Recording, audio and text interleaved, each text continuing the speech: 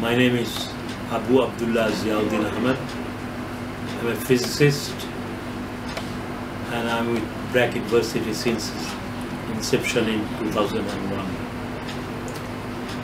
I did my master's from the University of Rajshahi in physics in 1960 and we belong to the first batch of physics graduates from that university. And then I went to England and I did my PhD in 1965. The field was high energy physics under nuclear physics. So basically, I'm a nuclear physicist or particle physicist to start with. Uh, unless we go for technology and scientific research, technology development and scientific research, we cannot bridge the gap between the developed countries and our country. So that is the only way to build up our own technology, to do our own R&D work, and to do to be to be to be able to do those things. What we have to emphasize on is to do and promote the study of basic sciences uh, like physics, chemistry, biology, uh, statistics, mathematics, all these things. The importance of physics, uh, just to emphasize on that point, I will read out uh, something, some some quotation, uh, which was given by President Lyndon B. Johnson of the States, United States of America.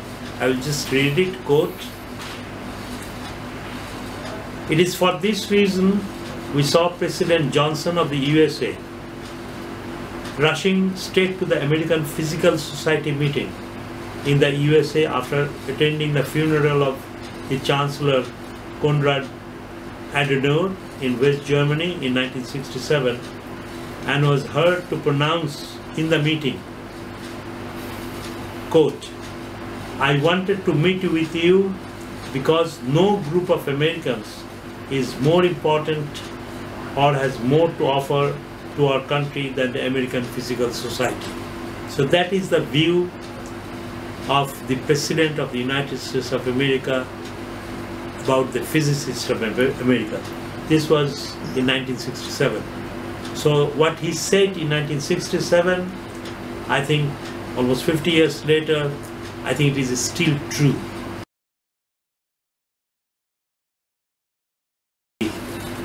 Level of physics or level of physicists of Bangladesh compared to the other countries, neighboring countries or the Asian countries.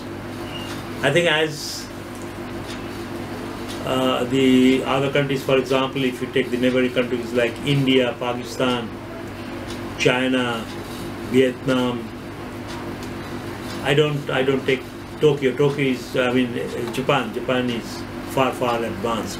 But even if we take the cases of these countries, a lot of emphasis is given on physics, and uh, they've made tremendous development uh, in physics and physics education because they have not, like ourselves, they have not neglected basic sciences.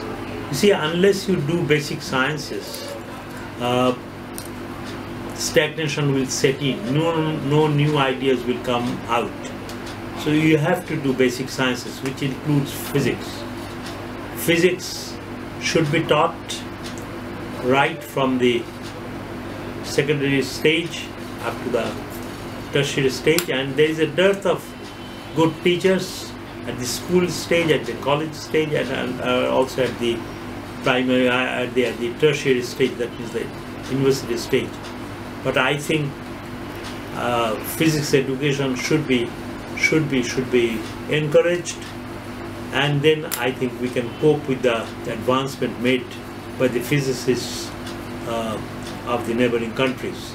But I must add here that the people, the expatriates, Bangladeshi expatriates who are working uh, abroad some of them have tremen- done tremendously well, and you know some of the names like Zahid Hasan and Salman Khan.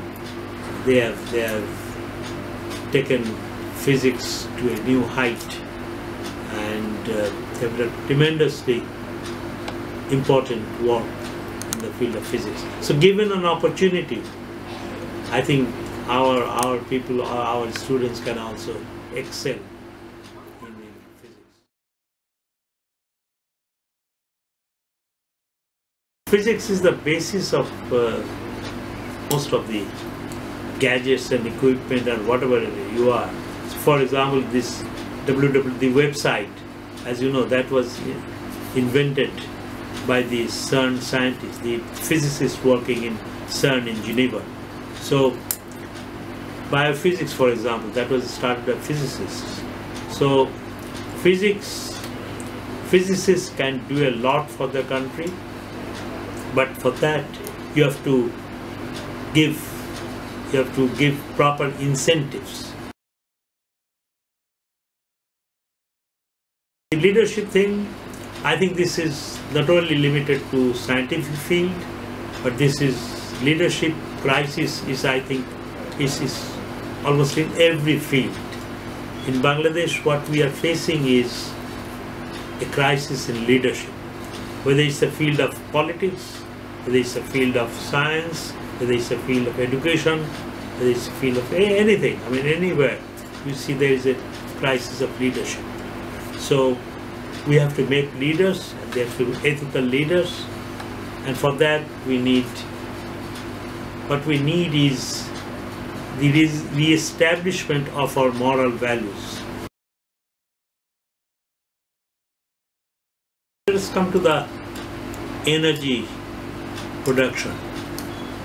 We all know that we have renewable sources of energy and non-renewable sources of, sources of energy. But non-renewable sources of energy like fossil fuels, uh, these are being depleted. And after some time we'll, will not have any of these sources like coal, oil, gas. Uh, the other alternative amongst non-renewable is nuclear energy. And as you know, Bangladesh, as we all know that Bangladesh is going forward with this program for nuclear energy. Uh, nuclear energy is a clean energy. Uh, the only problem uh, is the waste disposal.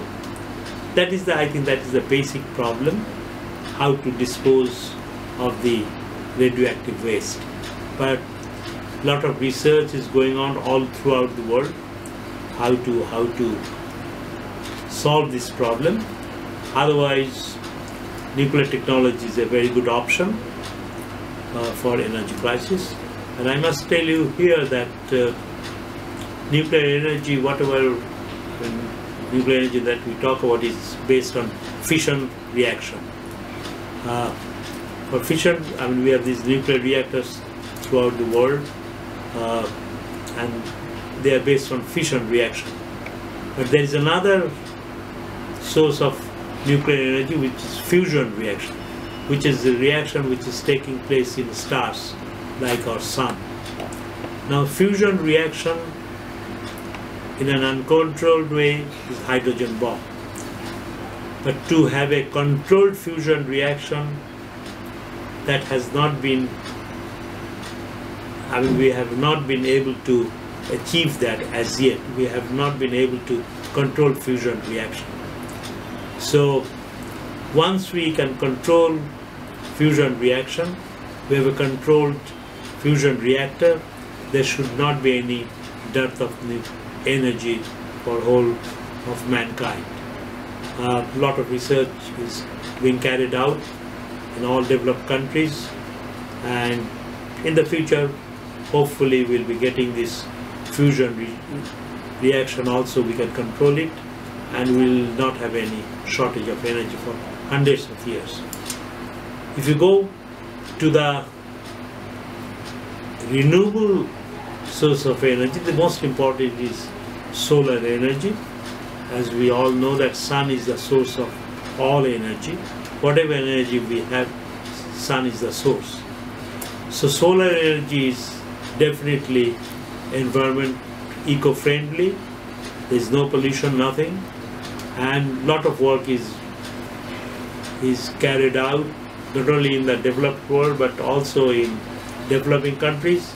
Even in Bangladesh, a lot of work is going on in solar energy, uh, and that's that's certainly one of the most important uh, sources of renewable energy, and we have no dearth of solar energy in Bangladesh. But there are other sources of renewable energy in Bangladesh, possibilities uh, like uh, wind energy, uh, like uh, tidal energy, wave energy. So these are all possibilities. Even we can we can have energy from biofuels. So these are the possible sources of energy. But I again go because I am a physicist, I am a, for that matter I am a nuclear physicist. I go back to nuclear energy and I will plead for nuclear energy in, from another perspective. Because nuclear energy is a high technology thing. And when you go for nuclear, nuclear technology, you know what we will do when you build up, we go to this high technology, we will develop the other technologies simultaneously. So it will have a spin-off benefit. Though it is capital cost is quite high, but along with the development of nuclear energy, the other technologies like material science, like cryogenics, like instrumentation, like electronics, these technologies will also be developed. And the spin-off benefit will far, far outweigh the capital expenditure. That there is a lack of coordination. Maybe we have data. Let us take the sector of water. This water data exists in a lot of different organizations. But there is not no real good coordination amongst these organizations. So they cannot always effectively share the data. If they could have done it, I think there would not have been a, any problem. We could, we could, we could develop more.